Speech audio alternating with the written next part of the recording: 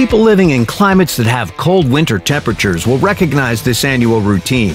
First, low temperatures cause water that's trapped within and beneath the pavements to freeze and expand. Reoccurring freeze thaw cycles cause the pavement to weaken in these areas. The weakened pavement breaks under the weight of vehicles and potholes form. Road crews patch and repair the damaged areas with short term fixes such as asphalt or cold patch materials. Roads are functional until winter arrives again. Then, temperatures fall and the cycle repeats. The city of Minneapolis experiences large temperature fluctuations along with the inevitable potholes. City officials were looking to break the annual cycle of deterioration and repair. So in 2017, they implemented a concrete street rehabilitation program. Out of 1,100 miles of roadway, Minneapolis has about 900 miles within its jurisdiction, and 15% of those, or 150 miles, are concrete. On average, the streets are 45 years old.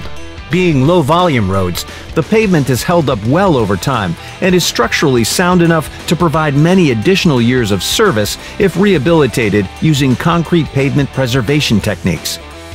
Concrete Pavement Preservation, or CPP, targets and repairs areas of distress within otherwise sound concrete pavements.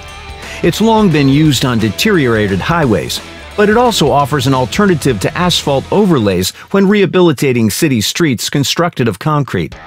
It's a sustainable approach because it reuses existing materials rather than requiring large quantities of natural resources such as aggregate and bituminous oil.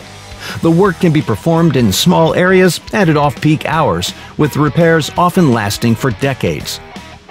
Techniques include slab stabilization, full depth repair, partial depth repair, dowel bar retrofit, cross stitching longitudinal cracks or joints, conventional diamond grinding, joint and crack resealing.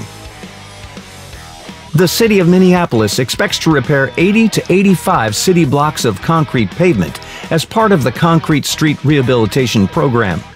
To identify pavement sections for improvement, the city evaluates pavement age and condition, work history, planned utility work, and best practice pavement management strategies. Several strategies improve the program's overall efficiency. To control costs, work is performed by city maintenance personnel when possible, with contractors providing specialized services. Pre-construction assessments are performed by all project stakeholders. The indefinite delivery, indefinite quantity contracting method, also known as IDIQ, is used. IDIQ allows for flexibility in scheduling and in the amount of work being performed. Concrete streets rehabilitated in 2017 and 2018 were located in the Waite Park neighborhood. Repairs consisted of saw cutting, full depth concrete patching, partial depth concrete patching, diamond grinding, joint and crack sealing, spot curb replacement, manhole and inlet adjustments, and ADA ramp construction and restoration. Diamond grinding was performed to create a smooth and safe finished surface. Most Waite Park blocks have alley access to homes, which allowed the main streets to be fully closed during the duration of construction. Streets without alley access were posted no parking in advance and closed one half block at a time to maintain access. For the concrete street rehabilitation in the Waite Park neighborhood, annual special assessments of approximately $4 million were adopted.